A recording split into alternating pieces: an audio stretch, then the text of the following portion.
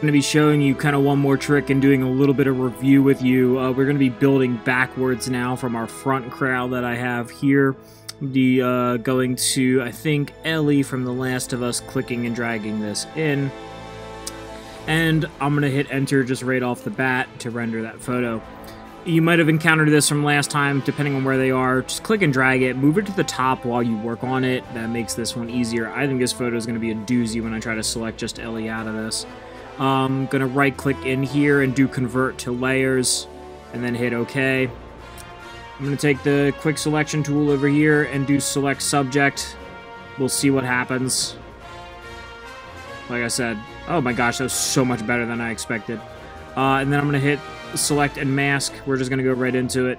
I might do a little bit of like fixing and whatnot. Smooth up to 20, feather 2-ish, give or take. Um, something that's really cool about this too, in the top center, you'll see refine hair. You can choose that and it just knows like if there's little like I don't know, little elements to the hair, like it added in a little bit. Sometimes it doesn't work to your benefit, other times it does. So I'm just to go in and minus a little bit of this extra stuff that I think it tried to grab when I hit refine hair.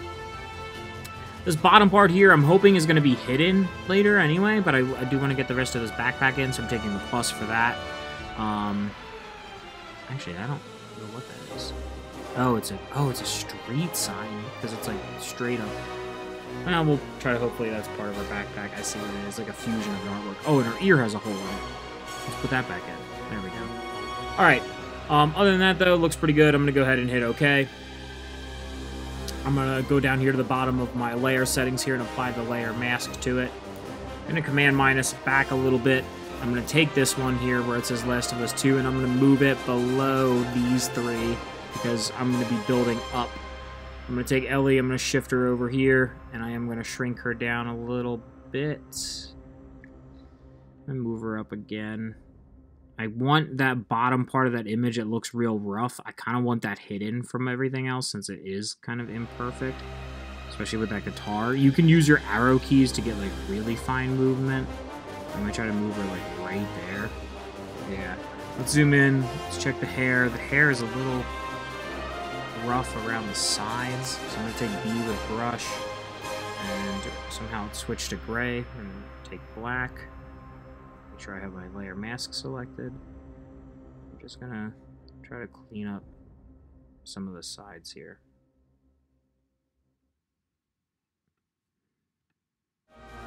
I think I might have to go for a better background photo also when this is all said and done.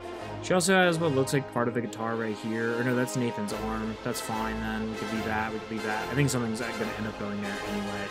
So there we have it. She's in place.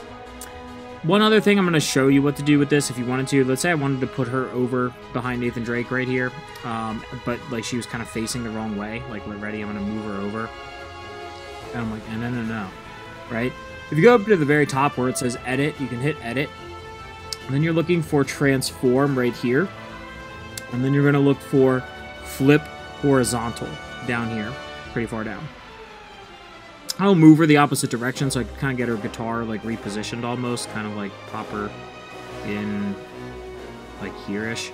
I think she looked a lot better on the other side anyway, so I'm going to undo that. So I'm going to hit Command Z, Command Z, Command Z, and then she'll get kind of back to where she was to begin with. So right there is pretty good. All right, uh, I'm going to be importing a few others. Again, I'm going to right-click this and uh, red dot that just so it knows that I have done that. Uh, I'm going to try something experimental here with Joel, uh, also from The Last of Us, and then we'll go forward from there. But the rest of this video won't have audio. Uh, enjoy just popping in a couple more characters in like the mid middle area of yours, and then we'll be doing a bunch of little smaller ones all scattered around, whatever we can fit in. All right, guys, have fun.